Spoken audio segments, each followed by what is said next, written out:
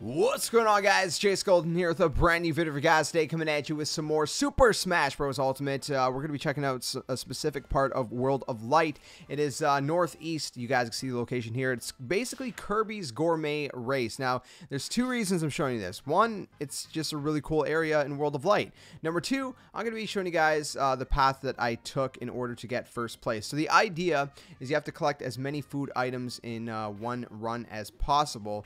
And um, if you don't collect enough, then you won't get the first place. There's a first, second, and third place. So the second and third place, um, I can't remember the exact numbers you need to get. I think for third place, you just need to get like anything under six or something, or I don't know, around there. And I think like between six and 10 is second place, if I recall correctly. And then for first place, you need to collect 11 food items. Um, so for second, third place, what happens is it, it spawns a spirit, just a normal spirit. But for first place, it actually uh, spawns a new fighter that you can uh, add to your roster if you defeat. So we're gonna skip over to the uh, to the section in a second here where uh, I actually um, you know, had my, my correct run to collect 11 food items. So if you guys are trying to do this yourselves, then you know the exact path to take. So this is the run. If you guys are trying to get first place in uh, this section, this is the path you guys have to take.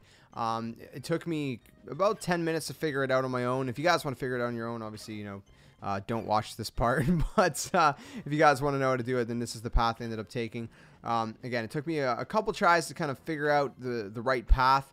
Uh, there's a lot of back and forth be, uh, between uh, the various paths.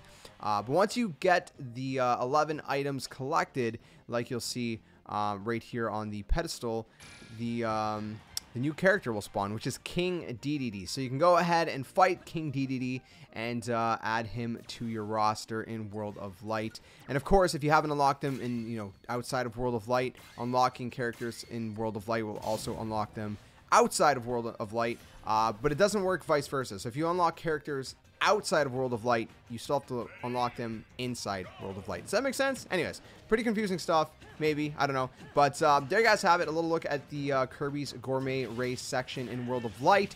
And uh, a little bit of a guide on how to uh, get that first place. You guys can get King Dedede unlocked. Let me know how you guys are enjoying Super Smash Bros. Ultimate. Let me know um, uh, how far you guys are in World of Light. I'm pretty far. If you guys have been watching my live streams, I'm uh, I'm about to take on Galeem, or at least go to that section. I, I believe there's like another world once you go encounter him that you have to go through a bunch of other levels first. Um, I think I seen someone streaming that very briefly for like two minutes. I wasn't sure if that's where they were, um, but I don't know. I'm not sure how that works yet. I'll find out live on stream if you guys want to tune into that. Uh, Twitch.tv slash jskeleton92. Otherwise, if you guys enjoyed this video, if you found it useful, make sure guys smash the like button, subscribe, comment, share, and all that awesome stuff. Hit the notification bell so guys never miss a new upload. I'll catch you beautiful people very soon. Another video like always. Until next time, game on.